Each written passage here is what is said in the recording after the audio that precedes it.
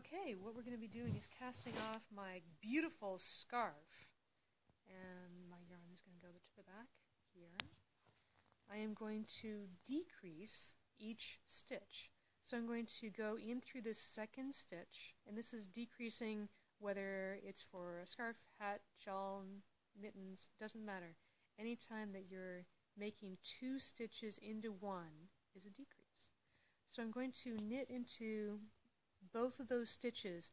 This is a regular knit, this is a regular knit, and what I'm doing is going through that back leg of both stitches.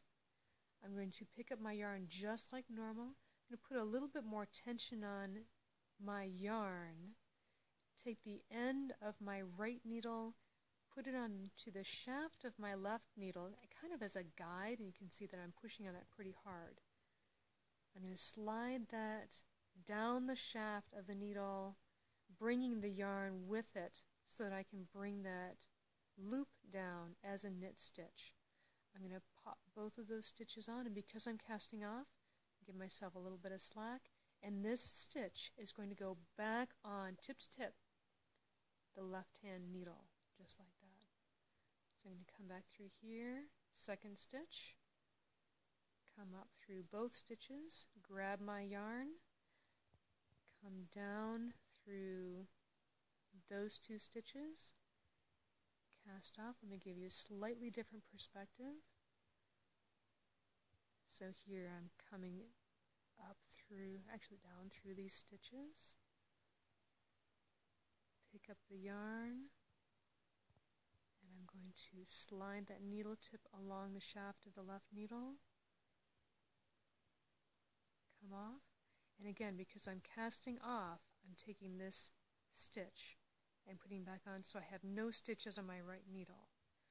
Do that a couple more times and I'll show you exactly what to do at the end. And I'm giving myself quite a bit of room in here because it's kind of tricky to come through more than one stitch.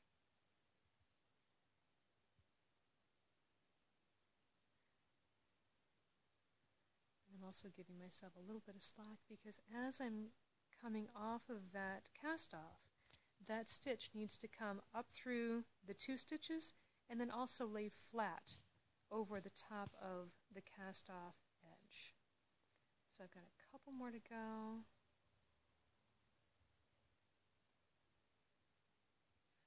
Feel free to not split your yarn. And each time I knit two into one, I actually am just decreasing by one. So I need to decrease for every stitch that I've got on my project. I'm down to the last two stitches.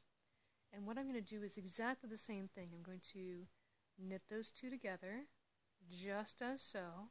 And then to finish my project, I'm going to make this loop into something very, very large. I'm going to use a sharp pair of scissors or my knife and cut off the yarn.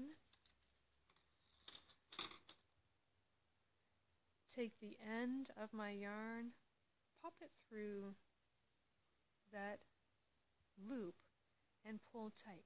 Now, that's what I would do for my initial project. Once I was a more comfortable knitter, I would actually cut off about six or ten inches, possibly even more, and use that yarn to then sew this loop down so I don't have that pointy end at the end. But for my initial projects, I'm just going to pop this end right through the loop, pull tight, and I can glory in my wonderful project.